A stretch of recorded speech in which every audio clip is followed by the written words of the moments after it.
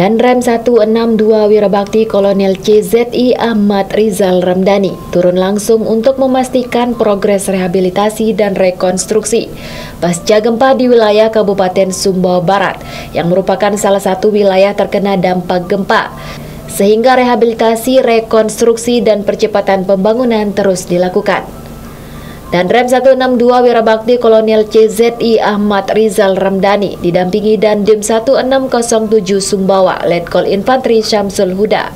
Sampai di lokasi dan disambut dan Dim 1628 Sumbawa Barat Kolonel CZI Edi Oswaronto.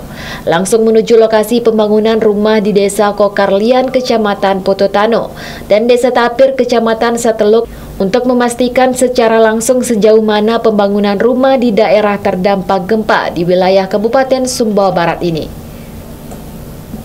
Tidak hanya itu, di lokasi pembangunan rumah ini dan Rem juga berinteraksi dengan anggota TNI dari Batalion Yonzifur 5 Brawijaya, Pokmas, dan fasilitator untuk menanyakan kendala yang dihadapi di lapangan terkait pembangunan rumah ini.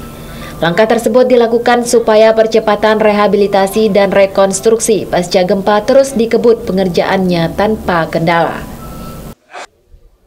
Untuk progresnya sudah 13.000 sedang berjalan untuk rusak ringan. Dan untuk rusak sedang di rumah sudah jadi sekitar 400. Kemudian progresnya sudah mencapai 2.500-an.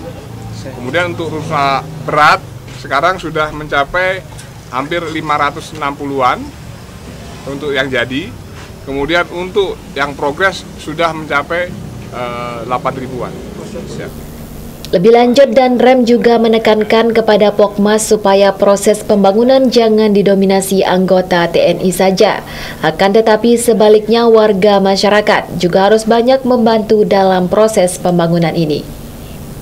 Dari Kabupaten Sumbawa Barat, Nusa Tenggara Barat, Topan Iswandi, KET TV.